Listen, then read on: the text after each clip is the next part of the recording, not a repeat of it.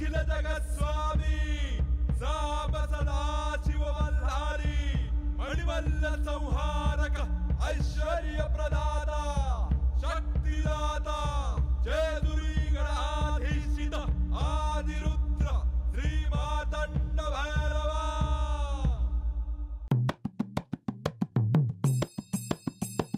ಜಯ ದೇವ ಜಯ ದೇವ ಜಯ ದೇವ ಜಯ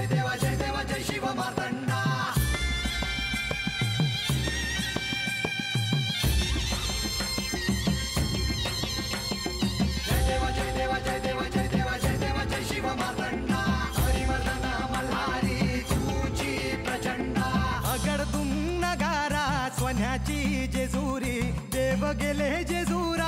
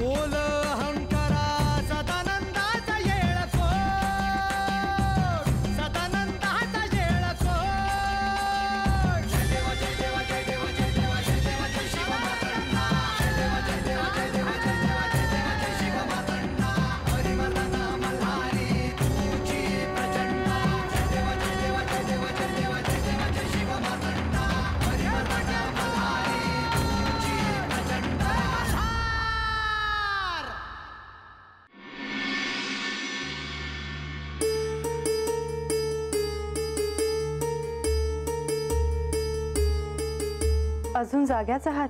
हो. नेहमीप्रमाणे. पण आज कारण वेगळे आहे. मी सुद्धा रात्री गडावर सगळीकडे पाहून येते. आणि मग शयन कक्षात जाते. काळजीत दिसता आहात?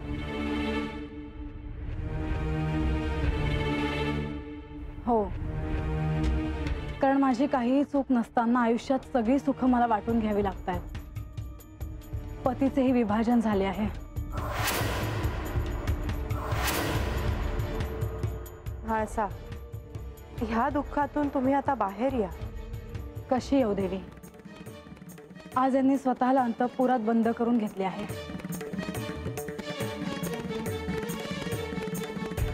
सकाळपर्यंत येतील ते बाहेर. पण तोपर्यंत बरंच काही घडलं असेल. म्हणजे? देवी इथे आपल्या दृष्टीला जे पडतं तसं नसतं. तुम्ही स्पष्ट का सांगत नाही? बानूला मानस सरोवरावर आणि देवी गंगा यांचे दर्शन घेण्याची इच्छा आहे. परंतु त्याचा आणि श्री खंडेराय एकांतात असण्याचा काय संबंध? असं काय करता आहात देवी? हे जेव्हा मला सूक्ष्मदेहाने मानस सरोवरावर घेऊन गेले होते तेव्हा काय घडलं होतं हे मला ठाऊक आहे. म्हणजे ह्यावेळी श्री खंडेराय बानूला मानस सरोवरावर घेऊन गेले आहेत किंवा घेऊन जाणार आहेत असं तुम्हाला वाटतं आहे का? अर्थात देवी जे जे मला हवं आहे ते ते तिला हवं आहे. आणि तिला जर सत्य आधी कळलं तर मी काय करू? जन्मभर एकटी राहू. त्यांनी तुम्हाला सांगायला हवं होतं. त्यावर त्यांचं एक कारण असणार. जेव्हा ते मला घेऊन गेले होते तेव्हा त्यांनी तिला कुठे सांगितलं होतं? पण ते माझी आणि तिची तुलना का करतायत? म्हाळसा मला कळतंय. परंतु आता गंगावतरणाचं आख्यान होणार आहे. ते तुम्ही लक्षपूर्वक ऐका. तुम्हाला सहाय्य होईल.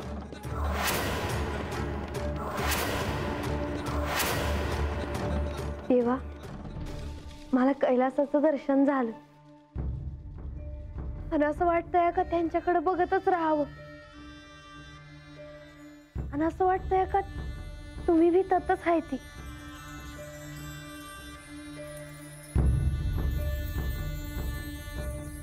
ध्यान करत आहे ती. बानू कैलास म्हणजे माझेच प्रतिरूप आहे.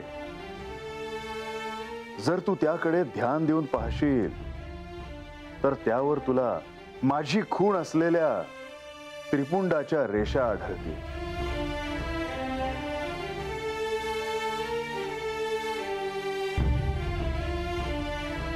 कैलासाच्या प्रत्येक दिशेचे एक विशेष महत्त्व आहे. कैलास मानस परिक्रमा ही एक गुप्त साधना आहे जी भविष्यात मनुष्याला कळेल.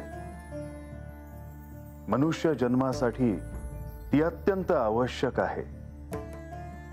ह्या परिक्रमेची सुरुवात ही यमद्वारापासून होते. मनुष्याच्या पूर्वजन्माची पापकर्म नष्ट होऊन त्याला यातना रहित मृत्यू येतो. बानू कैलास मानस परिक्रमा करताना निरनिराळ्या दिशेतून कैलास हा निरनिराळे भाव देऊन जातो. पूर्वेला आनंदाचे भाव.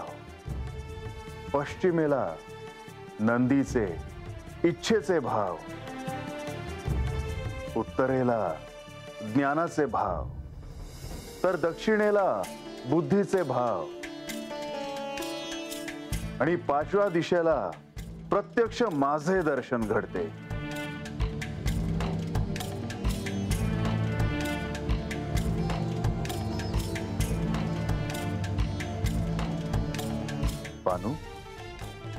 काय झालं? काय नाही देवा. पण असं वाटलं का म्या बी ततच आहे. बानू तुला हे असं वाटणं अत्यंत स्वाभाविक आहे. कारण त्या कैलासाशी तुझा गतजन्म जोडला गेला आहे.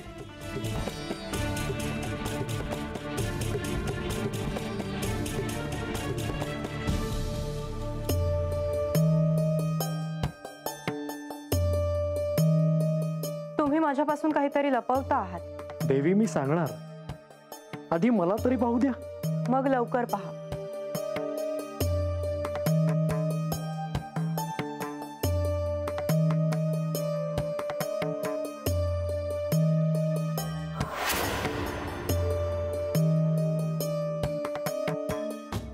देव गडावर नाही.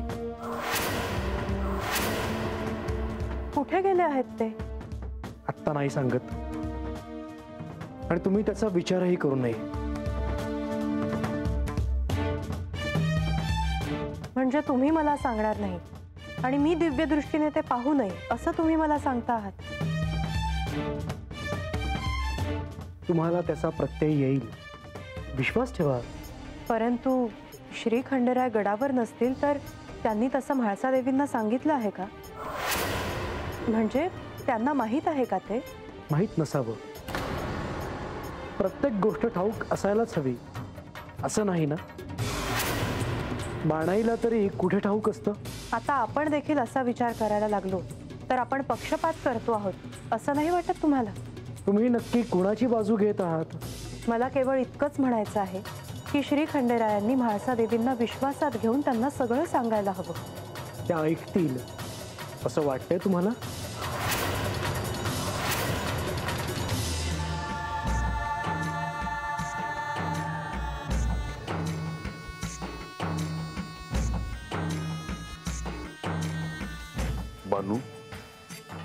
ब्राह्म मुहूर्ताआधी मी तुला ह्या स्थानी घेऊन आलो. ह्याचं एक विशेष कारण आहे. काय जी? ब्राह्म मुहूर्ताच्या आधी ह्या मानस सरोवरावर देव यक्ष किन्नर गण ज्ञानाला प्राप्त झालेले गुरु सद्गुरु हे सारे जण स्नानासाठी येतात. तुला त्यांचे देखील दर्शन घडेल.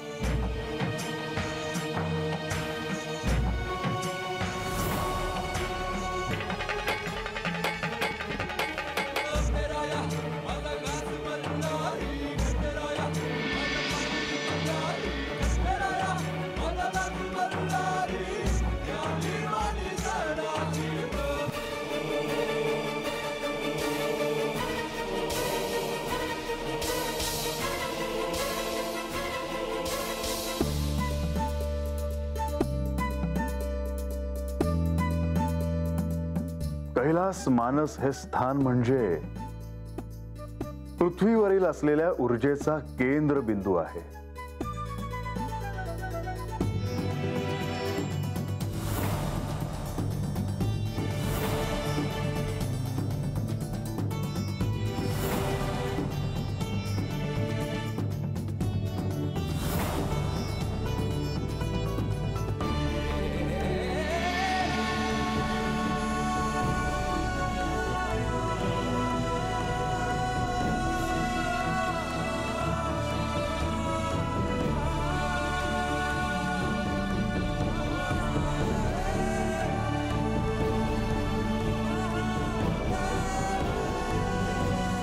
चंद्रदेव?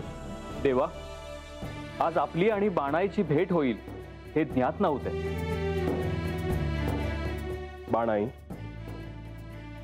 या मानस सरोवरात आपले स्वागत आहे. जी. देवा आज बाणाईंना या स्थळी आणण्याचे काही विशेष प्रयोजन आहे का? होय. बानूला गंगेचे दर्शन घ्यायचे आहे. देवी गंगा? परंतु देवा? क- काय झालं जी? अ, मला त्यांचं दर्शन होईल ना हो देवा.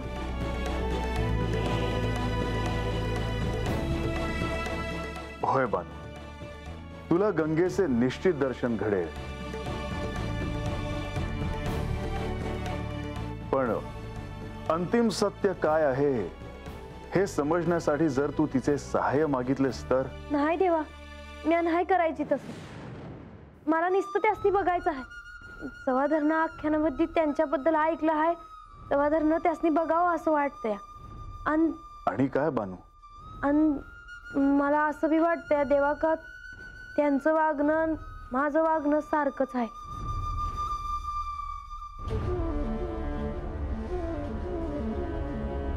बानू आता आपण निघूयात. ज्या स्थानी तुझी आणि गंगेची भेट होणार आहे त्या स्थानी जाऊया. वयजी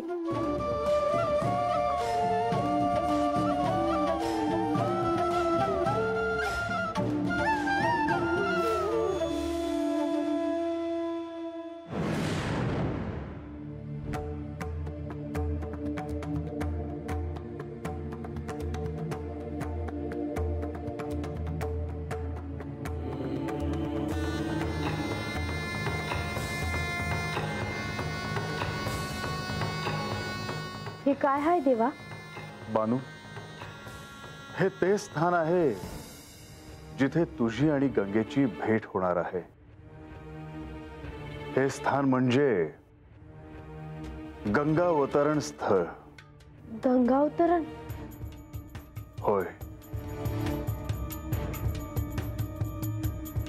गंगावतरण म्हणजे ज्या स्थानी गंगा स्वर्गातून पृथ्वीवर पुन्हा अवतरली होती. मला त्यासनी भेटायचं आहे जी.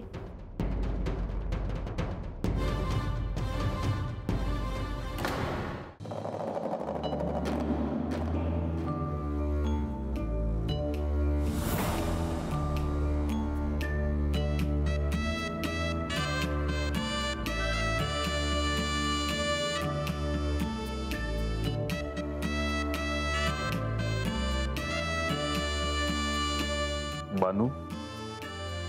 ही गंगा।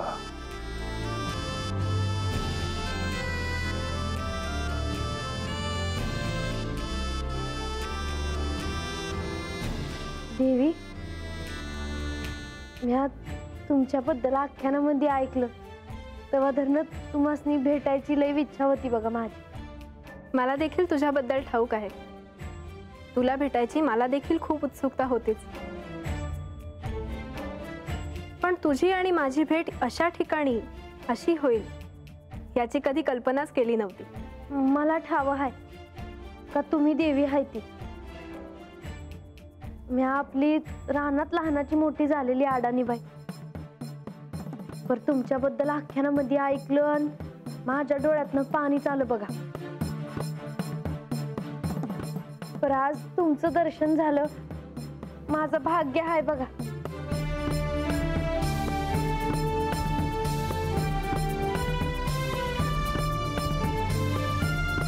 आपल्याच एका रूपाला असं समोर पाहताना काय वाटत असेल? हे आत्ता मी कसं सांगू तुला? गंगा पण बानूला हे कळू द्यायचं नाहीये. हो. मला ज्ञात आहे प्रभू. माझ्याकडून यात कोणताही हस्तक्षेप होणार नाही. पण पण काय? पण मला तिला काहीतरी संकेत द्यावेसे वाटत आहेत. बर. ह्या स्थानी तुम्हा दोघींची ही अशी भेट होईल ह्याची कोणी कल्पना देखील केली नसेल. याआधीही अशी भेट झालीच आहे. फक्त हिच्या ते ध्यानात नाही. म्या विचारलं असतं तुम्हाच नाही तर म्या देवासनी सांगितलं आहे का म्या तसं विचारणार नाही म्हणून. मी देखील तुला थेट काहीही सांगणार नाही. मला देखील मर्यादांचं भान आहे. पण मी इतकंच सांगेन. आख्यानात माझ्या अवतरणानंतर कैलासात जे घडलं त्यात तुला तुझ्या ह्या जन्मात घडणाऱ्या गोष्टींशी काही अंशी साम्य जाणवेल. आणि त्यातूनच तुला सत्यापर्यंत पोहोचण्यास सहाय्य होईल. येते मी. जी.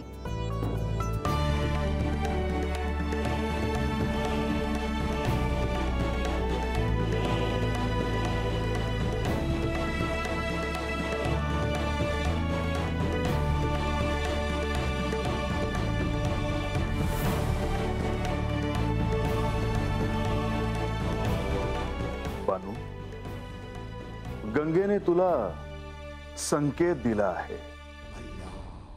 मात्र अंतिम सत्य काय आहे हे मात्र तुलाच शोधायचे आहे. वय देवा.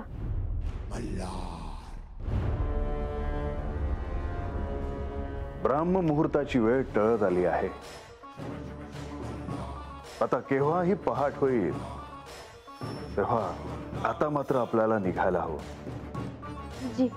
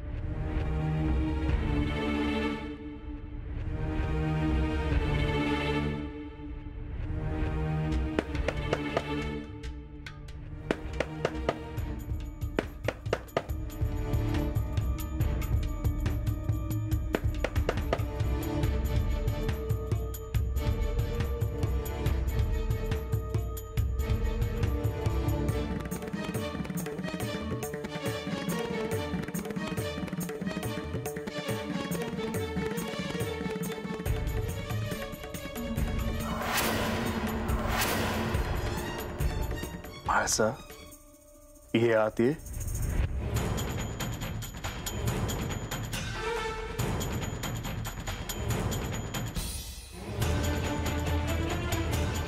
तुम्ही सर्व दारं खिडक्या बंद करून एकांतात का गेला होता? आपण त्यावर नंतर बोलूयात का? पहाट होत आहे तेव्हा दिवस सुरू होताना मला वाद नकोय. पण वाद होण्यासारखं कारण असेल तर वाद दुसऱ्या प्रहरी होऊ शकतो. असे काय आहे की तुम्ही मला सोडून एकांतात गेला होतात मी सूक्ष्म देहाने मानस सरोवरावर गेलो होतो. एकटेच? बानूला घेऊन गेलो होतो. का? कारण तिची इच्छा होती. मग तुम्ही मला हे आधी का नाही सांगितलं? कारण स्वाभाविकपणे तुम्हाला जाऊ नसतं दिलं. अर्थात माझी इच्छा काय आहे हे का नाही विचारलं तुम्ही? म्हाळसा तुझी इच्छा होती म्हणून मी तुला मानस सरोवराचे दर्शन घडवले. आणि गंगेचेही. आता तिची इच्छा होती आणि तिची इच्छा मी पूर्ण केली. याचा अर्थ मला जे जे दिले ते ते तिला द्याल. उद्या सिंहासन देखील द्याल. नाही. तो केवळ तुझा अधिकार आहे. आणि ते स्थान केवळ तुझेच आहे. आज माझे स्थान आहे असे तुम्ही म्हणता आहात. पण उद्या तिने मागितल्यावर तुम्ही त्याचे विभाजन करणार आहात का? म्हाळसा तू विनाकारण राग ओढून घेते आहेस.